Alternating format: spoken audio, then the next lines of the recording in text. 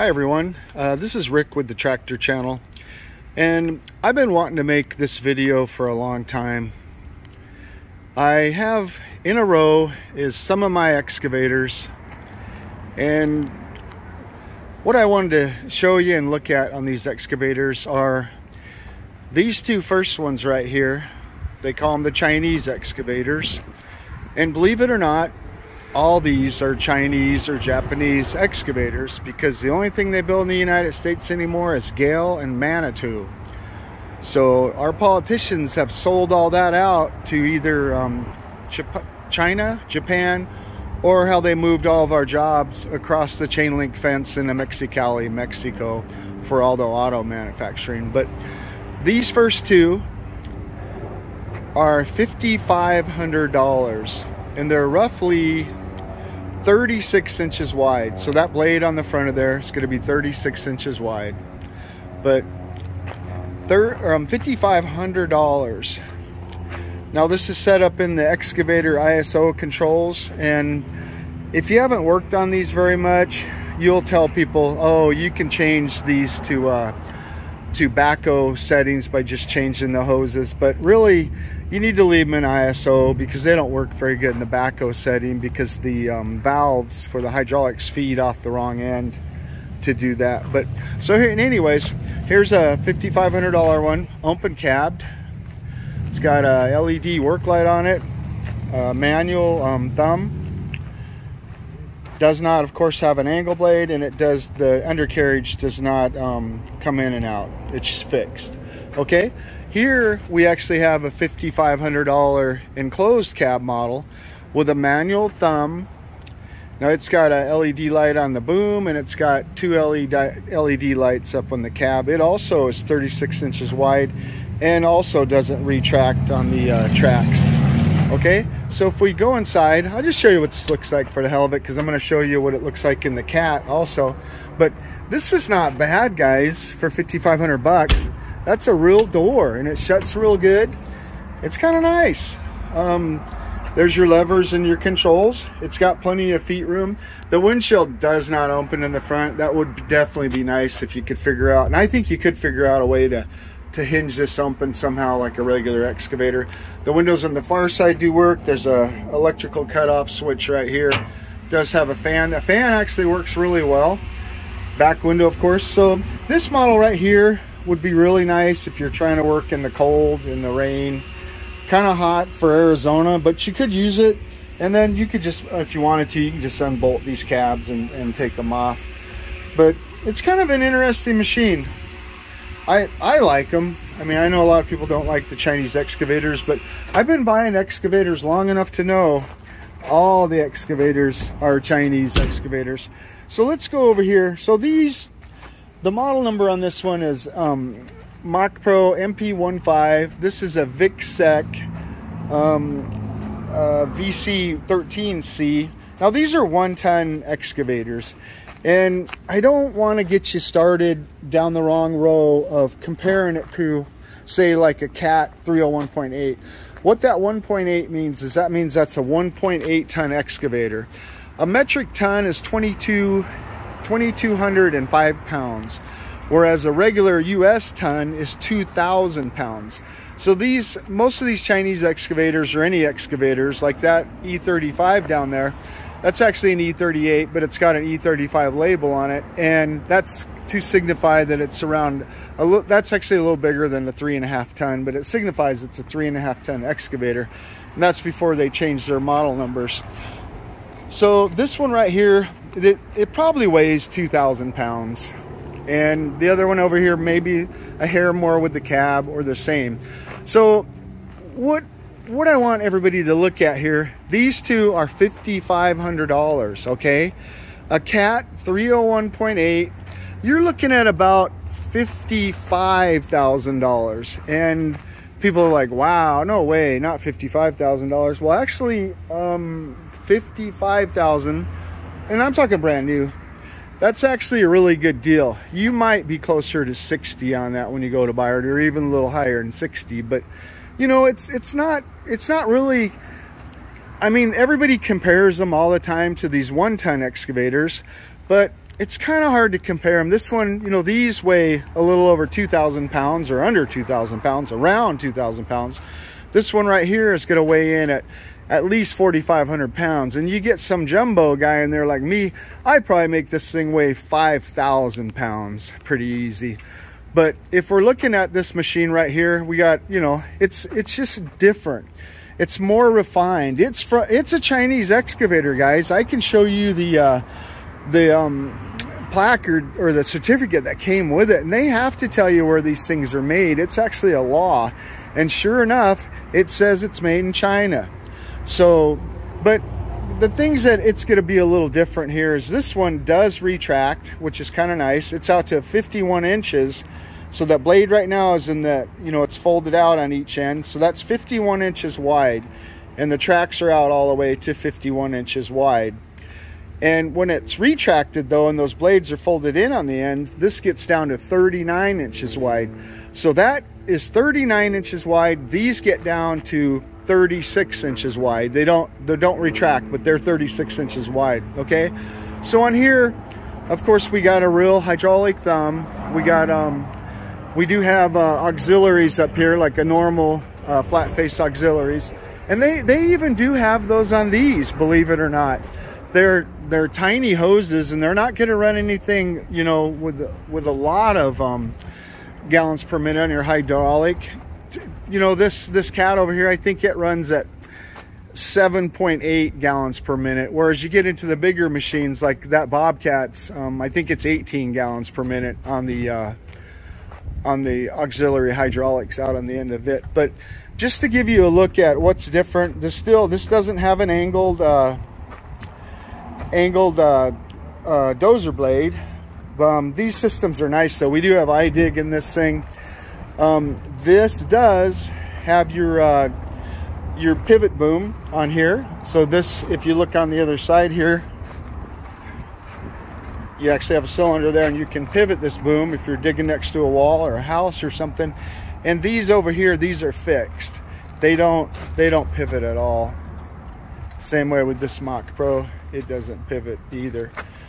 But it is pretty tiny where you could just be digging you know next to something so we, we already got a lot of differences when you go into this cab model we have um we have one light on this one too we got a LED light on the boom over there. We got two LED lights on the cab. Oh, major difference. LED lights on the back there, or one LED light. Major difference though, this one has awesome air conditioning and tinted windows, of course. That makes a big difference, guys, or guys and girls. When you tint these windows in these, you might think, oh, I don't want to waste the money, but it makes all the difference in the world in these little excavators. So if we look in here, um, it's got a console over there, screen. It's got your uh, dozer blade. Now, of course, the difference in this, it's going to have a stick steer, which you put it down and you push that yellow button right here. You're going to be able to do stick steer, which means you don't have to use your levers or your pedals, which is kind of nice. And of course, these windows in the front here, you can slide, you can unhook this bottom window, slide it into the top window, and then everything goes up like a skid steer out of your way if you want to keep this window in the open position. You can drive it with the door open, you can drive it with that window open over there. So very nice machine. I love this machine. Has iDig in it also. That's the beauty of these iDig depth systems is you can take them from one machine to the other. But when you get out and you're digging a pool or you're digging footers, house footers, setting up a pad, you can even have your iDig system work on, um, sorry, wiping the sweat off my forehead here. It's really hot and humid today. But you can even use your iDig systems, um, but by just switching them from one machine to the other, you just have to have the bracket and the second machine kit. But makes it kind of nice, makes it a lot um, cheaper to do. Now this machine versus these on the dozer blade, this one is going to have float, which is really a nice characteristic. So right off the bat, you got the pivoting boom and you got the float system. You do have a hydraulic um, thumb. And over here, now these on the couplers, they just come with the pins. So you physically had to take these bolts out and knock these pins out. Um, this one, same way. You got to knock those pins out over here. Now on the cats, this one does have the quick, um, it's a manual coupler, but you do have a bolt in there you undo and then you move that red thing right there and it's real easy to, the pins actually stay in the buckets and they're very easy to change. So, you know, 55,000, let's, yeah, we almost can say 60,000, but 55,000 versus 5,500.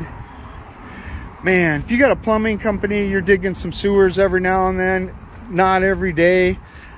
This thing is going to be light, guys. These weigh 2,000 pounds. You could put them in back of pickup trucks. I've loaded them in back of um, Home Depot flatbed aluminum bed rental trucks. This one right here, like I said, you know, you're up into the 4,500 pounds, maybe more with a tub, tubby guy like me in there. So let's go to this next system right here.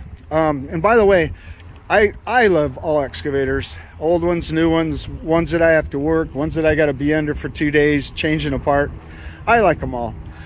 Love this little machine right here, the cat. Well, I, I like these two for getting where you need to go. That's a, those two are way better than shovels, guys way better. Now this cat, I love this thing. I, I can retract that, like I said, to 39 inches, drive through gates. It's a real super workhorse.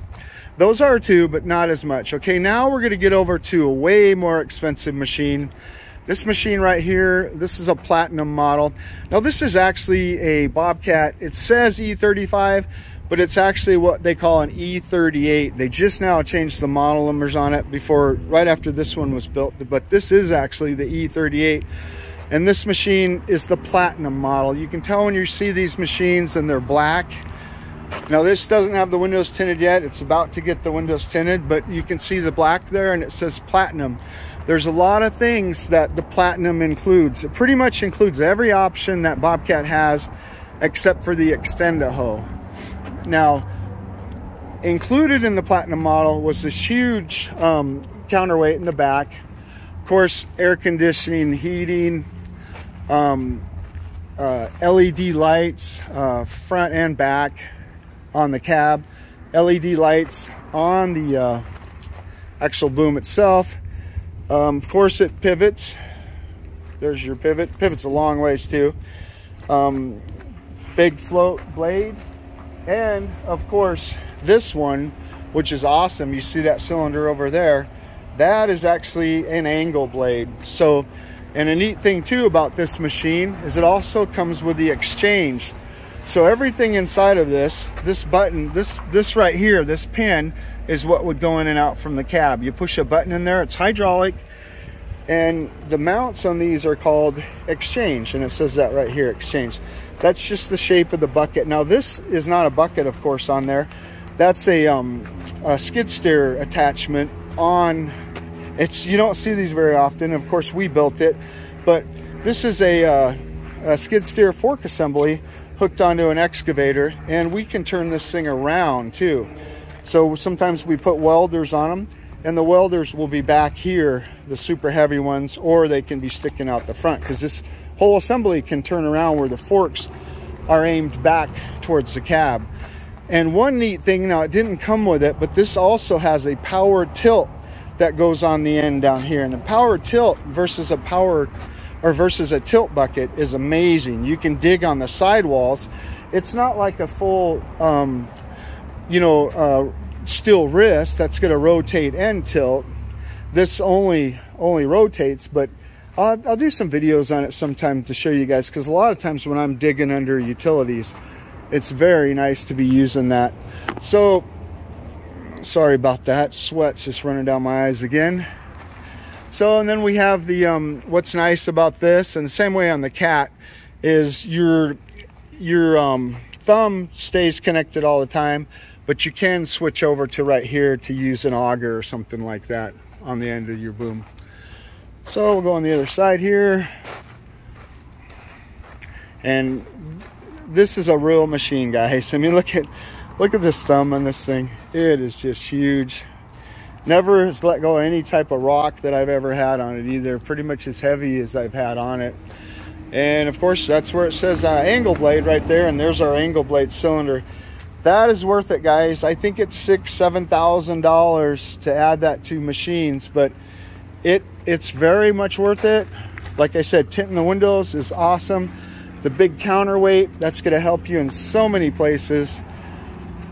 And this machine is awesome inside guys. We go in here fully enclosed full air conditioning heat heated seat. We don't really need that in arizona uh, two screens. So the one screen is the um, the upgraded Bobcat screen on the on the bottom there. Uh, that's an iDig. This is where you chase your lights for iDig, and that's your iDig system over there, where you can sit and watch your bucket, every position your bucket's in. You can watch that. It's not like when you're using a laser on your um, boom section or your dipper section you don't ever know where that bucket is. With the iDig systems, like I said, you can move it by just getting a bracket kit for the second machine, or it's called second machine kit. But the beauty of it is, is you know, like me, when I go out and dig footers and stuff, or bait, or anything, pools, I just go out, I find my benchmark, um, I bench the system, and boom, I know when I move, every time you move the machine, of course, you got to re-bench, but it just takes a second to find that laser again. And this one, um, they have the huge laser finders on them from iDig. I'll show you that right here. That'd be this part right here. This is where the laser has to hit this sensor right here.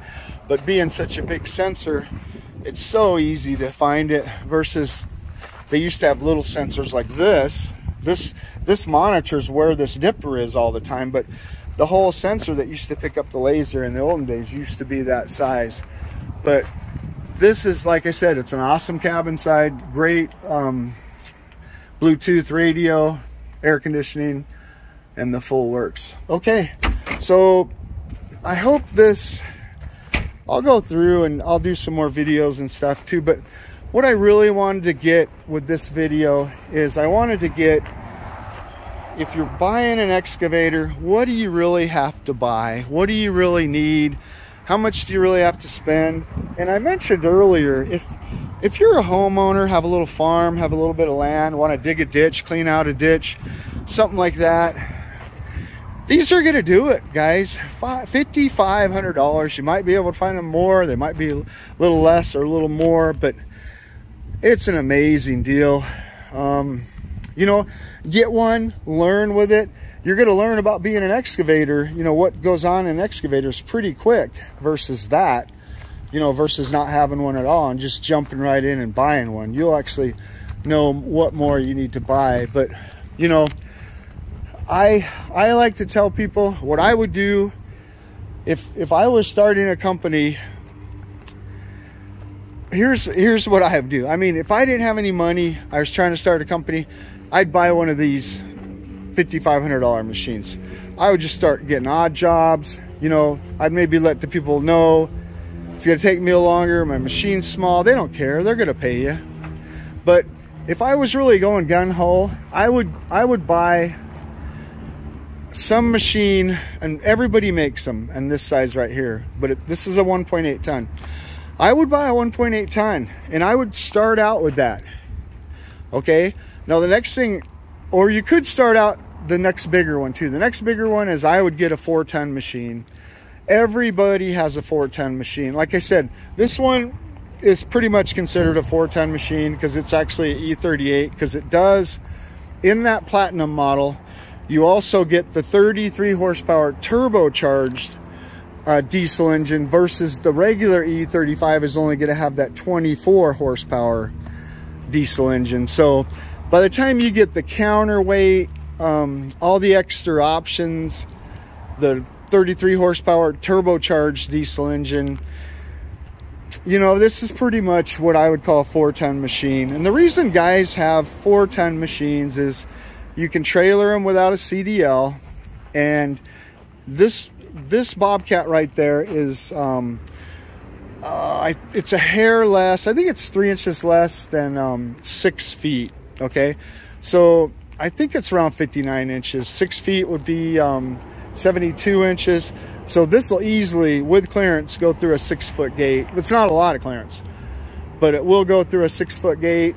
This you can get that down to just be 39 inches wide and these ones, like I said, are 36 inches wide. These, that, that um, bucket right there is a 12 inch bucket on that cat, and these are 14 inch buckets on these little uh, Chinese excavators. And of course, they're sized.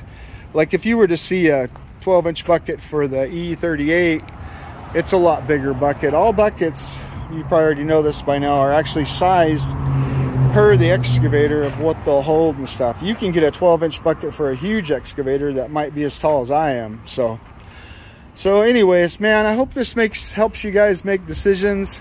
Don't let salesmen talk you into something you need to buy if you really don't need that machine. You can rent all these machines. You can go to Home Depot, rent um, the U, what is that? The U17s or the KO um, 18s. You can rent uh, Bobcat um, E10s, Bobcat E20, Bobcat E26.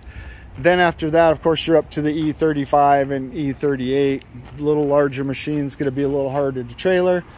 And you're gonna need a CDL when you start getting above there to trailer. Now, I one thing that I think is very neat about the Caterpillar is I can stick that 301.8 on my trailer and I can stick it on there and I can also put an MT100 and buckets and I'm still not over my 14,000 GVWR on the trailer.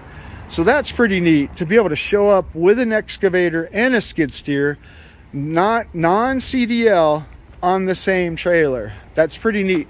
And think about what I just said too, everybody, because when you start trying to make money, that's actually kind of nice to be able to do that. Now say, say you had a little mini skier job to do with the MT100, you wouldn't have to go back and get your, um, you know, your excavator if your next job was an excavator job. Now I'd put some side ramps on your trailer so you could get your Bobcat on and off the front, especially if you got a tilt trailer. And then, so you could be using both machines with the same trailer on the same job if you wanted to, or separately, you wouldn't have to go back to your yard or your house and change machines, unchain this machine, chain this machine, which takes an hour. so anyways, I'll make more videos. My goal here is just help everybody learn about this stuff. Little background about myself. About 42 years ago, this is what I started out with. Um, I'm an old guy. I'm 60 years old.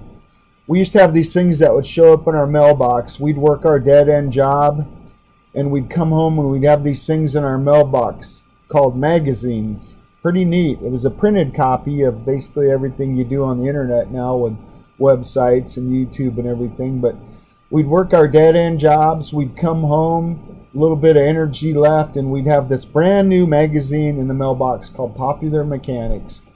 In the back of this magazine, you could buy the um, the diagrams and the blueprints of how to build a towable backhoe. And this is one of them that I built about 40 years ago. And I built over 30 of these things. Now this one right here actually has the bucket ripped off. You can see it's gone. My friend took him a week and a half digging through rock to rip the bucket off. But it's just kind of, um, it's kind of neat how all this got started. But you might say this is where my love for tractors and excavators and backhoes got started. I used to build all my own. I sold a lot of these. Um, was kind of neat because you could tow them where you're going and then you just crawled around like a crab. And I think the main reason that I'm so much in love with these hydraulic equipment is that um, I had parents that um, basically used me to uh, like I can't even say the words because it's it's not politically correct anymore. But they were some terrible um, terrible parents, and I dug a lot of now even with that this little um, backhoe towable backhoe that I built here, I uh, I've I've dug miles of ditch with these things now. Now, the stuff my parents did to me, of course, was before I was able to build stuff, and they just used me as a shovel and I dug miles of ditch and fence posts uh, for my parents. I call them that. They really weren't parents, but anyways, I just wanted to show you my background in this, you know, in the machinery business, and um, why I have such a love for it, and I'm just glad if I can help anybody with it. Thank you.